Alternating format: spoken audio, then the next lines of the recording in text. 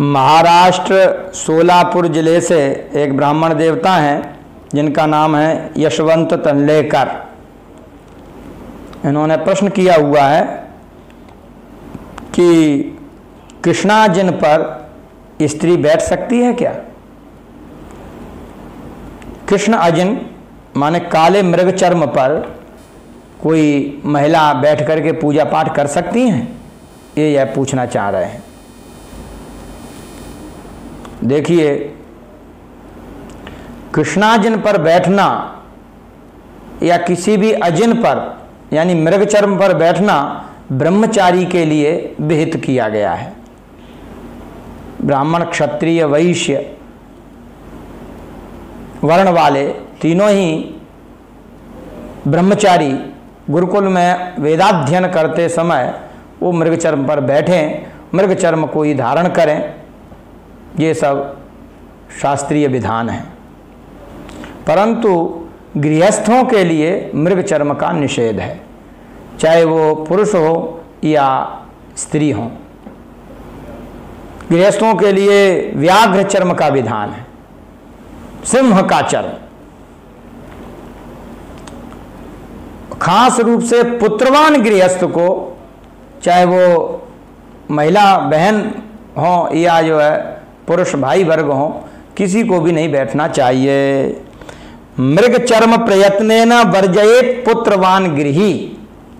पुत्रवान गृही मृग चर्म प्रयत्न वर्जयेत। ये स्मृत्यंतर का वचन है।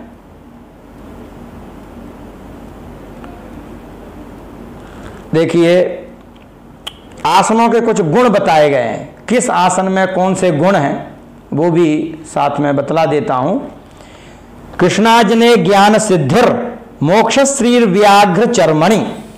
वंशासने व्या, व्याधिनाश कम्बले दुख मोचनम। ये शुभ आसन है। पर इनके अधिकारी अलग अलग हैं। इस श्लोक में कहा गया है कि मृग चर्म पर बैठ करके ब्रह्मचारी जब वेदाध्ययन करते हैं तो ज्ञान सिद्धि ही, उनको शीघ्र ज्ञान प्राप्त होता है, वेदों का ज्ञान प्राप्त हो जाता है। मोक्ष श्री व्याघ्र चरमणि।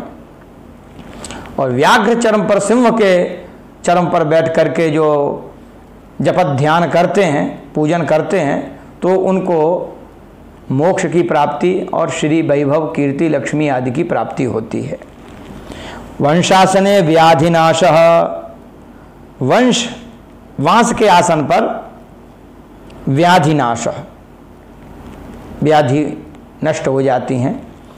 कम्बले दुख मोचनम और कम्बल का आसन, वो भी रक्त कम्बल लाल, बड़ा श्रेष्ठ आसन है, इस पर दुख मोचनम समस्त प्रकार के दुखों का मोचन हो जाता है। शास्त्रों में कुछ विहित आसन है, कुछ निषिद्ध आसन है। निषिद्ध आसन बताए गए हैं कि इन पर बैठ करके कभी भी जपार्चन, पूजन, बंधन, भगवद आराधना किसी को भी नहीं करनी चाहिए। उनको और सुने, धरण्याम दुख संभूतिर यह धरणी पृथ्वी पर भी बैठ जाए कोई आदमी, बिना आसन कर तो दुख संभूति, दुख की प्राप्ति होती है। इसलिए कभी भी बिना आसन के बैठ करके जब तप, अर्चन, होम आदि नहीं करना चाहिए। दौर्भाग्यम दारुजासने।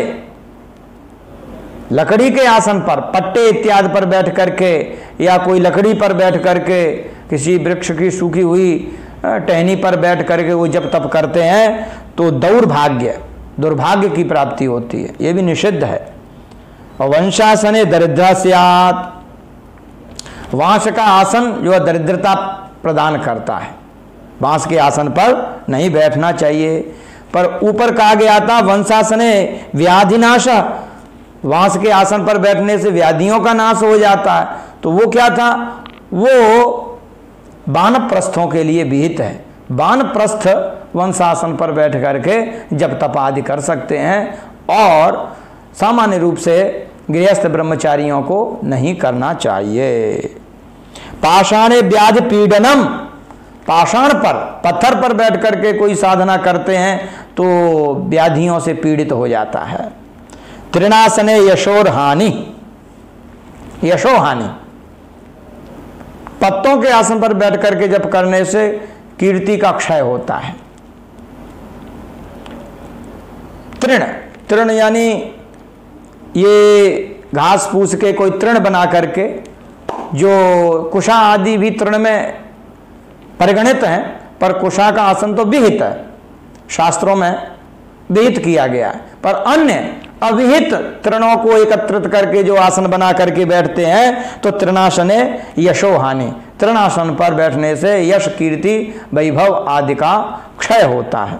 पल्लवैश चित्त विभ्रम और पल्लव पर बैठ करके, पत्तों पर, जैसे पत्ता, पत्ते जो वायु में हिलते रहते हैं, हवा में हिलते रहते हैं, इसी प्रकार उसका चित्त विभ्रम हो जाएगा। एक जगह एकाग्र हो करके नहीं लगेगा। इसलिए पल्लवों के, पत्तों के आसन पर बैठ करके भी जब तब साधना निषिद्ध है। जप ध्यान तपोहानिम कुरवन वस्त्रासनम तथा। और साधना, जप, तप इत्यादि की हानि हो जाती है यदि कोई वस्त्र के आसन पर बैठ करके जब तप करता है। इसलिए वस्त्र के आसन, पत्ते के आसन, पत्थर के मिट्टी के, लकड़ी के और तृणों के आसन पर किसी को भी बैठ करके जब तप इत्यादि नहीं करना चाहिए।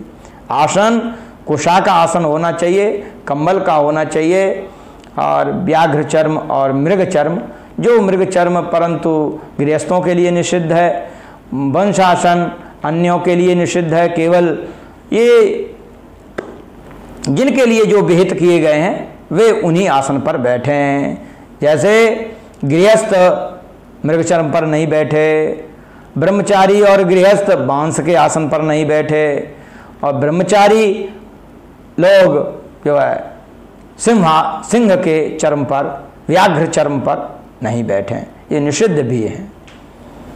तो जो सर्वथा निषिद्ध हैं, या किसी आश्रम या वर्ण में निषिद्ध हैं, उनका भी हमें परिपालन करना चाहिए। विधि से निषेध बलवान होता है। विधि से निषेध बलवान होता है। इस बात का हमको सर्वथा परिज्ञान रखना चाहिए। निषिद्ध परिवर्जन पूर्वक विधि का पालन करने पर ही संसिद्धि की प्राप्ति होती है।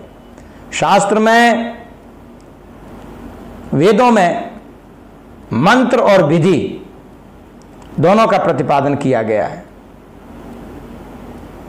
मंत्र संहिता भाग, विधि ब्राह्मण भाग। तो कुछ समाज ऐसे हैं, आर्य समाज आदि, जो कि मंत्र भाग को तो मानते हैं, विधि यानी वेद भाग को नहीं मानते हैं। हमारे यहाँ जो लिखा हुआ है कात्यान मुनि के द्वारा प्रतिज्ञा सूत्र में सर्वप्रथम ही सूत्र है कि मंत्र ब्राह्मण और वेद नाम ध्येयम। मंत्र और ब्राह्मण दोनों ही मिलकर के वेद हैं। मंत्र और विधि।